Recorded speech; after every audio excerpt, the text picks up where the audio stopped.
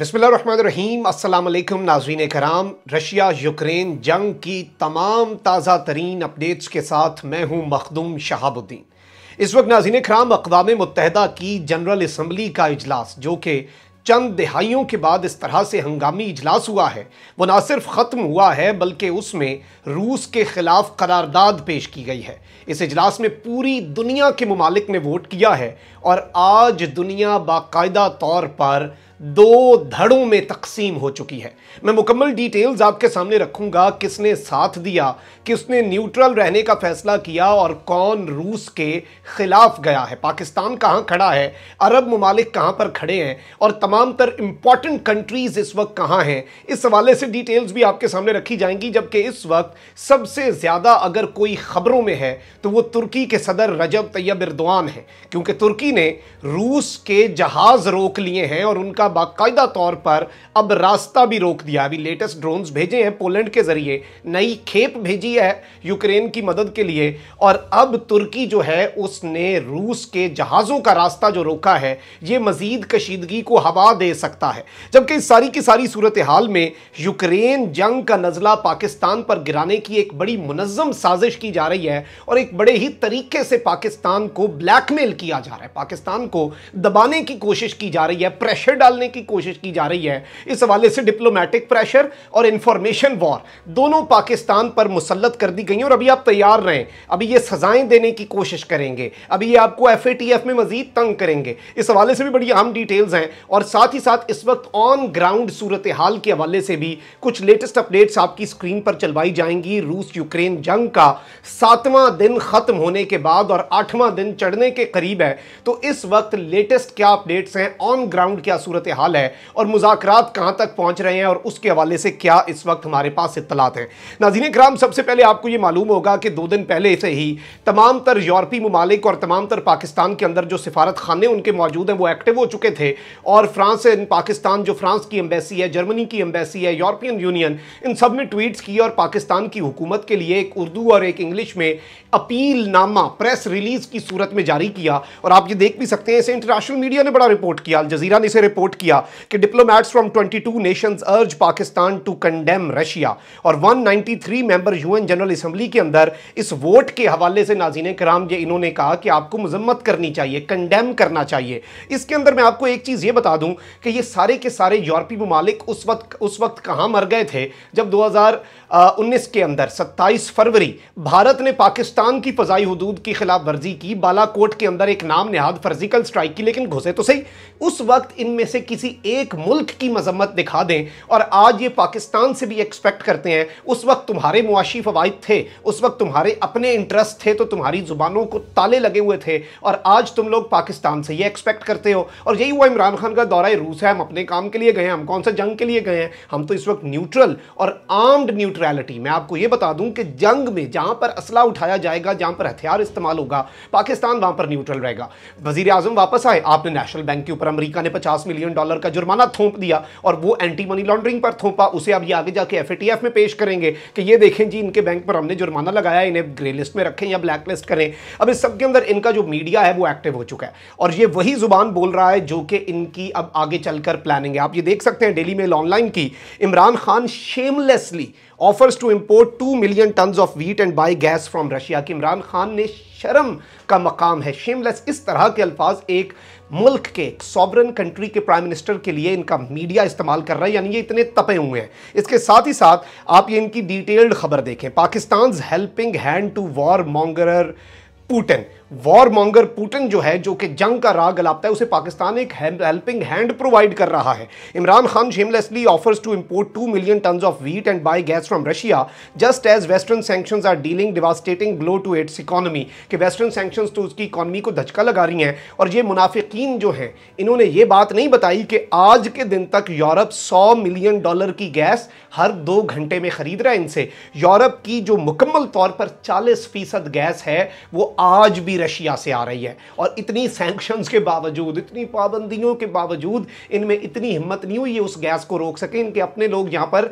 इनके गले पकड़ने पर आ जाएँगे कि ये गैस कहाँ पर गई और यहाँ पर इस तरह का एनर्जी क्राइसिस आएगा। लेकिन ये उस पर बात नहीं करेंगे कि यूरोप अपनी गैस की ज़रूरियात क्यों पूरी कर रहा है। पाकिस्तान अपनी गंदम की ज़रूरियात पूरी करे, अपनी आवाम को भूखा ना मारे। तो पाकिस्तान के वज़ीर अजम के लिए शेमलेस जैसा लफ्ज़ इस्तेमाल कर रहे हैं। और आप अभी आगे चलकर देखिएगा कि इस न्यूट्रलिटी का ये बड़ा काम करेंगे, क्योंकि इन्हें इस वक्त यूरोप के अंदर ना एक पाकिस्तान मिल चुका है। जिस तरह से हम पहले इनके आला कार बने थे, अफगान जंग के अंदर, इस वक्त इन्हें पोलैंड मिला हुआ है। और पोलैंड को इसका खमियाजा भुगतना पड़ेगा। पोलैंड के अंदर सारी इमदाद आ रही है। पोलैंड इनके सारे बंदे ले रहा है। आठ लाख बंदा इनका निकल चुका है मुल्क से। सबसे ज़्यादा लोग वहाँ पर जा रहे हैं रेफ्यूजी के तौर पर। पोलैंड के अंदर सारा असला जा रहा है, पूरे यूरोपियन यूनियन के फाइटर जेट वहाँ से उड़ रहे हैं, रूस तो उसके ऊपर चढ़ दौड़ेगा। खैर, इस सारे के सारे मामले में नाजीन कराम इस वक्त टर्की भी मैदान में है और टर्की के सदर रजब तैयब एरदवान मुकम्मल तौर पर टफ टाइम दे रहे हैं व्लादिमिर पुतिन को। अगर इस जंग के अंदर यूक्रेन की तरफ़ से किसी ने तबाही फेरी है तो वो सिर्फ़ और सिर्फ़ टर्की का ड्रोन था और और कल इनके दो बड़े जहाज़ गए हैं, उन ड्रोन्स को लेकर पोलैंड में लैंड हुए हैं और वहाँ से यूक्रेनियन पायलट जो हैं वो ड्रोन्स को जारी बात है, आगे उन्होंने ट्रांसपोर्ट किया है। इसके साथ साथ आप ये एक और खबर देखें। Turkey blocks Black Sea passage for Russian naval vessels Turkey ने नाजीन कराम एस्कलेशन रोकने के लिए, जंग रोकने के लिए रशिया की नेवल वेसल्स का रास्ता रोक दिया है और इस सब के अंदर चार जहाज़ों को वापस मोड़ा गया। आप अल जजीरा की खबर देख लें। Russia cancelled Black Sea passage bid of four war ships अपने चार जंगी जहाज़ जो हैं, बहरी जहाज़, वो रूस को वापस बुलाने पड़ गए कैंसिल करने पड़ गए। तुर्की के सदर रजब तैयब इरदवान की इस पाबंदी के, जो कि जारी बात है ऑब्जेक्शन इस पर लगाया टर्की ने। और टर्की इस वक्त मुकम्मल तौर पर नेटो का साथ दे रहा है और यूक्रेन का साथ दे रहा है और व्लादिमिर पुतिन के बिल्कुल आमने सामने आकर खड़ा हो चुका है। इसके अंदर अब हिकमत क्या है, वो किसी को समझ नहीं आ रही, क्योंकि जब वेस्ट के साथ फड्डा होता था तो व्लादिमिर पुतिन और तैयब इरदवान बड़े करीब समझे जाते थे और टर्की को इनके दरमियान में एक बड़ी फाइन लाइन ड्रॉ करने वाला मुल्क समझा जाता था, लेकिन यूक्रेन तनाज़े में ये बड़ा खुलकर सामने आ रहा है। इस सब के अंदर नाजीन कराम अरब ममालिक के वाले से मैं आपको बता दूँ यूनाइटेड नेशन सिक्योरिटी काउंसिल के अंदर एब्सटेन किया था इंडिया चाइना और यूएई ने। अब जब पूरी दुनिया के ममालिक यूक्रेन के शहरियों के लिए वीज़ा ईज कर रहे हैं। जारी बात है यूरोपियन यूनियन में वो आ रहे हैं, उन्हें वीज़ा के लिए फ्री एंट्री दी जा रही है। यूएई जो है, वो पहले से यूक्रेनियन सिटीजन के लिए वीज़ा फ्री ट्रैवल था। उन्होंने वो हटा दिया है कि इस तरह से कोई बंदा हमारे मुल्क में ना आ जाए और हम अपने मुल्क को सेफ़ रखना चाहते हैं। आप ये देख सकते हैं फाइनेंशियल टाइम्स की खबर। UAE suspends visa free travel for Ukrainians Gulf states decision reflect desire to preserve relationship with Russia यानी कि इस वक्त रशिया के साथ वो अपना रिलेशनशिप प्रिजर्व रखने के लिए उन्होंने ये इकदाम उठाया, यानी कि उन्हें नया इकदाम कोई नहीं करना पड़ना था। यूक्रेनियंस के लिए जो वीज़ा फ्री ट्रैवल था, उसे तक ख़त्म कर दिया है कि अब तुमने हमारे मुल्क आना है तो वीज़ा लेकर आओ, ताकि कोई इस तरह से ना आ जाए कि आए और यहीं पर रहना शुरू हो जाए और उन्हें वहाँ पर इन्हें झेलना पड़ जाए, आप ये भी कह सकते हैं। इस सब के अंदर नाजीन कराम कुछ लेटेस्ट अपडेट्स की तरफ़ आने से पहले और ऑन ग्राउंड जो सूरत हाल है, उसे आपके सामने रखने से पहले मैं आपको ये बता दूँ कि यूनाइटेड नेशन जनरल असम्बली का इजलास, जो कि दिहाइयों के बाद हुआ है, इस तरह से emergency session last nineteen eighties nineties में इसराइल फ़लस्तीन के मामले पर हुआ जिसकी आइट्रेशन फिर हुई, लेकिन इजलास वही चल रहा है। तो यूनाइटेड नेशन जनरल असम्बली का जो हंगामी इजलास बुलाया गया है, उसमें एक तारीखी वोट दिया गया है। और तारीखी वोट क्या है, आप ये रॉयटर्स की खबर देखें। UN general assembly in historic vote sells Russia over Ukraine invasion Russia की इन्होंने भरपूर अल्फाज में मजम्मत की है। अब ये टू थर्ड मेजोरिटी का तो कह रहे हैं, और आप ये देख सकते हैं UN resolution against Russia invasion clearly passes just five four votes on Russia side Russia it Russia ने अपने हक में वोट दिया। बेलारूस इरेतेरिया नॉर्थ कोरिया और सीरिया, ये वो ममालिक हैं जिन्होंने खुलकर रशिया का साथ दिया है, जबकि चौंतीस ममालिक ने नाजीन कराम इस वोट के अंदर एब्सटेन करने का फैसला किया है। यानी कि उन्होंने कहा है कि हम इसके अंदर किसी के साथ नहीं खड़े। मैं आपके सामने इस ड्राफ्ट रेजोल्यूशन जो कि रूस के खिलाफ है, उसकी ये चलवा भी देता हूँ। अफ़गानिस्तान, जारी बात है, अभी तक अफ़गानिस्तान को अफगान तालिबान नहीं यूएन में रिप्रेजेंट कर रहे, करजई वाला सेटअप रिप्रेजेंट कर रहा है। उन्होंने रशिया के खिलाफ वोट दिया है और इसके अंदर जो एब्सटेन किया है ममालिक, उनमें सर फहरिस्त अगर बात की जाए, जो हमारे कंसर्न के ममालिक हैं, उनमें इंडिया है, ईरान है, इराक है, कजाकिस्तान है करगिस्तान है, इसके साथ ही साथ नाजीन कराम इसमें पाकिस्तान है, और इसमें बांग्लादेश के हवाले से भी ये डिटेल्स हैं कि बांग्लादेश तक ने एब्सटेन किया है। बांग्लादेश इसमें बिल्कुल चाइना पॉलिसी पर चला है। और ऑब्वियसली चाइना जो है नाजीन कराम उसने भी इस सारे के सारे मामले में एब्सटेन किया है वोट करने से, ना रशिया के हक में, ना रशिया के खिलाफ। और इसमें जिम्बाब्वे है, वियतनाम है, साउथ अफ्रीका है, श्रीलंका है युगांडा है और इस तरह के ममालिक हैं। उसके अलावा दीगर तमाम तर जो ममालिक हैं, उन्होंने इस वक्त इनके खिलाफ इकदाम किए हैं। लेकिन जारी बात है, दुनिया भी डिवाइडेड लग रही है और दुनिया में बहुत से ऐसे ममालिक भी हैं जो इस जंग के अंदर कोई एक पर्टिकुलर साइड पकड़ कर एक पर्टिकुलर अपने ऊपर वो थोपना नहीं चाह रहे कि हम इसके साथ हैं, हम इसके खिलाफ हैं। और मैं यही बात कर रहा हूँ कि जब पाकिस्तान के हवाले से भारत की इन्वेजन हुई, अफ़गानिस्तान की इन्वेजन में अमरीका में कितनों ने मजम्मत की थी उस वक्त? सारे खामोश थे। हक में बात करते थे, ये एक मुल्क का राइट है, उसे जो गलत लगता है, वो गलत को गलत कहे, सही को सही कहे। और अगर वो एब्सटेन करना चाहता है, अगर उसका हक है कि हम साइड पर रहें तो उसका वो भी हक है, उसे हर राइट है और पाकिस्तान अपना राइट एक्सरसाइज कर रहा है। लेकिन जारी बात है, ये, इन्हें ये बातें हजम तो नहीं होंगी। पहले तो ये कहते थे, ये करो, और या इसे दस, पंद्रह, बीस साल पुराना पाकिस्तान होता। अमरीका बहादुर कहता, हम सबसे आगे होते, इनके खिलाफ बोलने में रूस के खिलाफ, रूस से दुश्मनियाँ निभा रहे होते।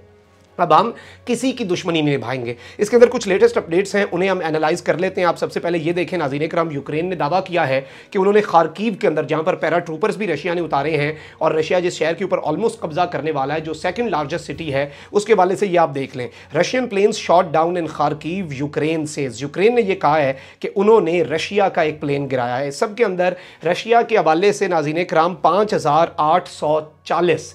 ये फिगर दिया जा रहा है यूक्रेन की डिफेंस मिनिस्ट्री की तरफ़ से कि हमने 5,840 रूसी फौजी मारा है। अब रूस का मौकफ भी आपके सामने रखना बड़ा ज़रूरी है ताकि उनकी साइड ऑफ़ स्टोरी जो है वो भी आ जाए। इसमें अब रशिया ने ऑफिशियली भी कुछ हलाकतों और कुछ इंजरीज का कंफर्मेशन दिया। आप ये देख सकते हैं more than fifteen hundred Russian soldiers injured ये नाजिन कराम रशिया की जो सरकारी न्यूज़ एजेंसी है आर आई ए उसने कहा है कि पंद्रह सौ सत्तानवे हमारे रशियन सोल्जर्स जो हैं वो इसमें ज़ख्मी हुए हैं जबकि फोर नाइन्टी 98 तकरीबन 500 सोल्जर्स जो हैं वो इसके अंदर मारे गए हैं। जबकि इस सारे के सारे मामले के अंदर नाजीन कराम यही कहा जा रहा है कि जो तमाम तर चीज़ें हैं, वो इस वक्त यूक्रेन का दावा 5,800 का है रशिया का दावा 500 का है और जारी बात है अगर हम न्यूट्रल होकर देखें तो ये कहीं दरमियान में ही फिगर हो सकता है। यूक्रेन भी इसे एग्जेजरेट करेगा रशिया की पूरी कोशिश होगी कि वो कम से कम अपने फौजियों का फिगर दे। जारी बात है इसके अंदर और बड़ी इंपॉर्टेंट चीज़ें होती हैं मोराल का फैक्टर होता है। अब मैं आपको ये बताऊँ जो टॉक्स की बात हो रही थी कि जो सेकेंड राउंड ऑफ़ टॉक्स होना है उसके लिए रशियन ऑफिशल्स तो एक मकाम की तरफ़ पहुँच गए हैं पीस टॉक्स जिन्हें कहा जा रहा है। और यूक्रेन ने पहले कहा कि इनके जलेंसकी ने कहा कि आप बॉम्बिंग रोकोगे तो हम ये टॉक टॉक्स करेंगे। अब ये इनका डेलीगेशन वहाँ पर जा रहा है और कल के दिन में, यानी कि तीन मार्च जारी बात है कुछ व्यूअर्स जैसे हो सकता है कि 12 बजे के बाद देख रहे हो, लेकिन कल का दिन जो है, जो कि आठवां दिन है जंग का, उसके लिए मुजाकर की टीम पहुँच चुकी है। आप ये देख सकते हैं Ukrainian officials expected to arrive in Belarus for talks tomorrow यानी कि वो तीन मार्च को बेलारूस में पहुँचेंगे। यूक्रेनियन ऑफिशियल रशियन ऑफिशियल्स मेरी जाती इतलात जो हैं, जो हमने एनालाइज किया है, वो वहाँ पर पहुँच चुके हैं। इस सब के अंदर जारी बात है व्लादिमिर पुटिन आज रात अपर हैंड हासिल करने की पूरी कोशिश करेंगे। ताकि कल टॉक्स के अंदर वो एक पोजीशन ऑफ़ स्ट्रेंथ में बात कर सकें। अगर वो एक दो बड़े शहरों पर और अपने झंडे लहरा देते हैं, खुरसान पर उन्होंने लहरा दिया खरकीब और कीव उनका सबसे बड़ा टारगेट है और एक और पोर्ट सिटी है, उस पर भी हमले हो रहे हैं। इनमें से एक दो शहर अगर वो ले उड़ते हैं तो कल की जो टॉक्स हैं, उनके अंदर इन्हें बहुत ज़्यादा एक अपर हैंड मिलेगा और जारी बात है, यूक्रेन जो है, वो इनके मुतालबात मानने की एक पोजिशन होगा, क्योंकि उन्हें नज़र आ रहा होगा एवरी थिंग फॉलिंग अपार्ट और उन्हें अपने शहर जो है, उनका सकूत जब नज़र आ रहा होगा तो फिर ऑब्वियसली उन्हें ज़्यादा आर नहीं होगी रूस की तमाम तर बातें मानने में। ये इस वक्त तक की ताज़ा तरीन अपडेट्स हैं। नाजीन कराम कमेंट सेक्शन में राय का इजार ज़रूर करें। चैनल को सब्सक्राइब कर लें। बेलाइकन को प्रेस कर दें। अपना बहुत ख्याल रखिएगा। अपने लोगों का भी और इस मुल्क पाकिस्तान का भी। अल्लाह ताला पाकिस्तान को सलामत रखे ताक़्यामत रखे। अल्लाह ने पाकिस्तान